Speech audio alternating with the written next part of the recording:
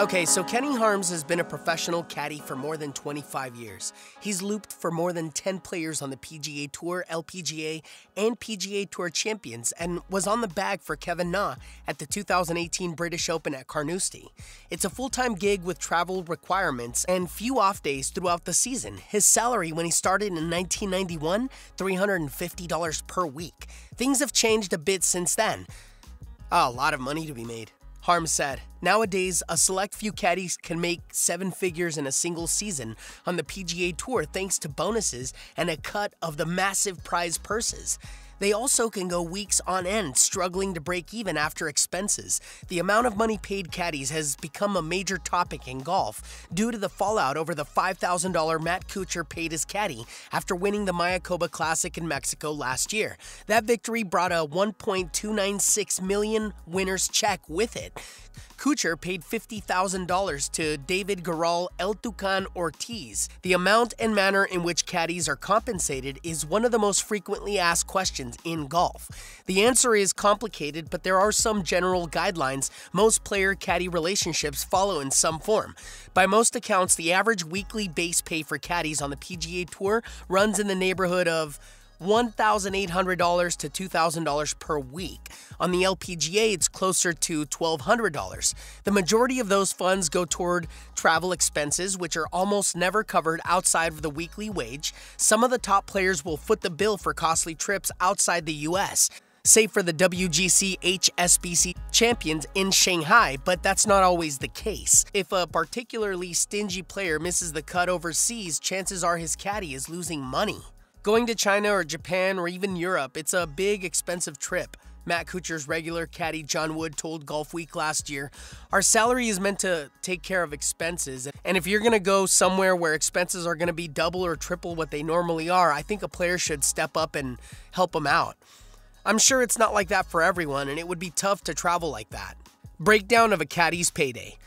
At stateside tour stops, most caddies are largely dependent on their players' performance. The average base percentage for proposed tournament payouts is about the same on the LPGA and PGA Tour and has remained steady in recent decades. According to most, it goes like this 10% of the earnings for a win, 7% for a top 10 finish, 5% for anything else inside the cut line. If a player misses the cut, his caddy might hang on to a few bucks from the initial weekly payment. That's right, and they never know when or if the next significant payday is coming. That's the risk we take with this job. Said Andy Sanders, Jimmy Walker's longtime caddy. If you work for a guy who's not making any cuts and not making any money, you kind of drown yourself. That caddy's not making any money, he's struggling. It happens. There's a ton of guys out here that are grinding that way. Caddies are also self employed and pay for their own insurance out of pocket. Then there's retirement funds, which are considered a luxury, especially on the LPGA with prize purses, a fraction of that on the men's side.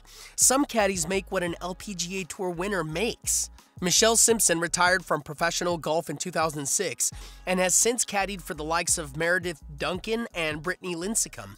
For her most recent win at the Pure Silk Bahamas in January, Lincicome took home $210,000. That's a tough pill to swallow for some when they see the Players' Championship winner haul in nearly $2 million. That PGA Tour caddy just won what our winner is going to get. Simpson said, That is mind boggling. Some LPGA caddies negotiate extra bonus incentives based on player performance. According to veteran LPGA looper David Brooker, some have worked to increase payouts to 8% for a top 10 finish rather than the 7%. Consider it a bit of an inflation adjustment. Across the board in the women's game, the depth of the level of golf has gotten way better, Brooker said. You're going to have a lot more finishes outside the top 10, so caddies are negotiating higher percentages because of the parity at the top of the game. Even on the PGA Tour, one has to keep in mind that caddies aren't paid an annual salary. An average pro might play 28 to 30 tournaments each year, and very few give their caddies any sort of retainer on off weeks. The caddy wage discrepancy is as wide as the gap amongst players. Justin Thomas played 25 events in 2017 and made $9.9 million, not including his $10 million FedEx Cup bonus. Steven Bowditch played 27 events and earned 24,650 bucks. Jimmy Walker earned 4.1 million in 2016, including 1.8 million for his PGA Championship win. So Sanders is presumably able to live comfortably, but for every Sanders, there's an anonymous looper paying their own way week to week and hoping to find the right bag at the right time. Obviously, I caddy for a really good player, Sanders says. At the end of the day, that's the most important thing. Oh, yeah. Interesting. Very interesting indeed.